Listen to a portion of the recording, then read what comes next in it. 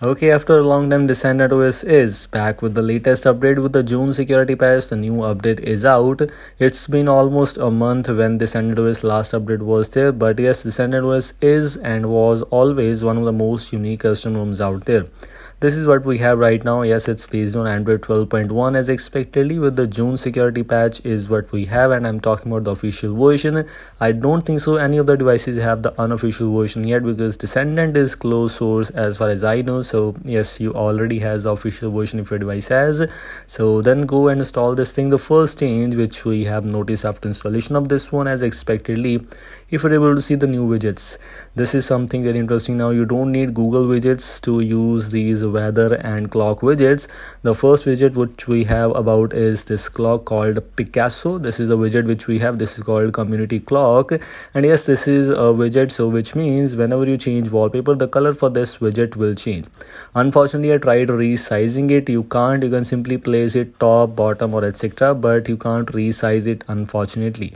But still it's not a big deal. Another wallpaper another widget which we have is the weather widget. The weather widget in my personal opinion i like a lot. Of course the clock widget is not that good but yes the weather widget seems to be super great.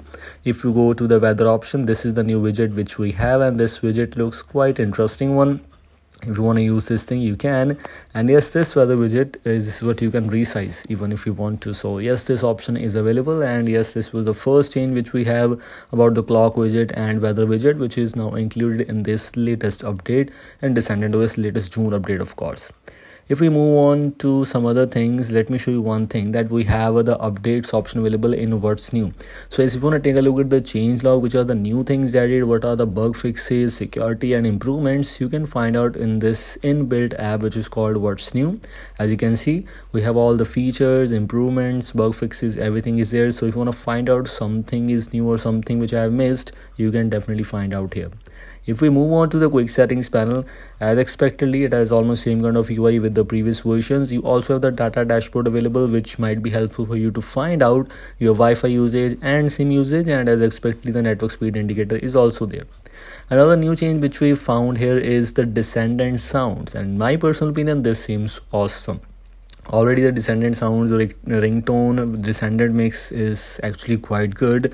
Whenever i use descendant voice i use this default one. This looks quite good. But now we have some extra ringtones available for you. So whichever you find comfortable with you can use that if we move on to the notification option now we have the dynamic sound options available.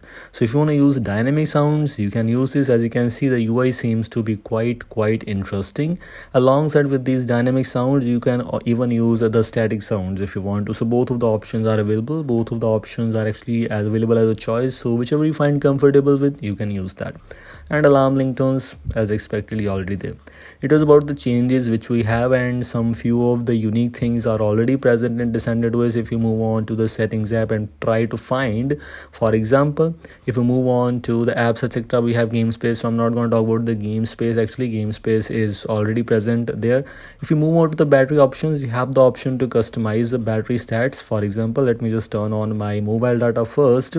If i check out this battery settings you have the option to view usage for the past 24 hours or the last full charge. And you can even customize the battery indicator. So few of the options some useful things are already present. If we move on to the display section now if we move on to this ambient notification lights you have a lot of extra things. Alongside with that if we move on to the lock screen and check out the lock screen clock style now we have the new clock available. This is called sony aligned. And yes this is what i was using at the lock screen as you just saw at the starting of that widget. The widget is also with the lock screen clock that is called community clock. That's already there.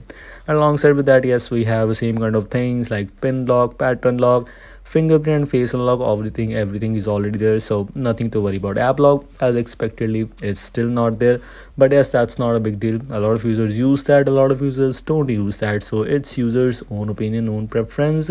If we move on to the system system gestures etc as expectedly some icons which you can hide or unhide some basic things in gestures quickly open camera three finger screenshot already there and the gestures magic where you can use the call related gestures and media related gestures which were available previously too. These were things which we have and descendant os is and was already one of the most unique custom ROMs out there. If you want to install this thing official website link is already available in the description. If you find this video useful for you make sure to like this video. Also share this with among others and don't forget to subscribe the channel. Goodbye